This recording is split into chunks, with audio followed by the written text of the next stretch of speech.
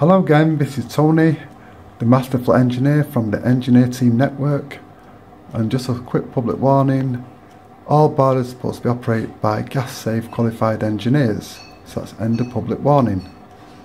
So this quick um, video is just about a fault what's on this boiler and basically the fault is, if you can look carefully, this blue flashing light on this Worcester boiler and the Worcester boiler in question is a Worcester 28 24i Greenstar Junior.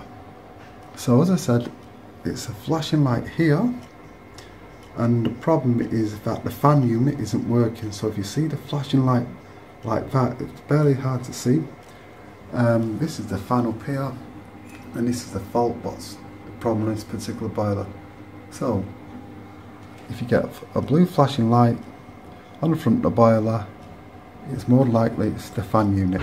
So that's the end of this short video on this Worcester Greenstar. So thank you for watching and listening.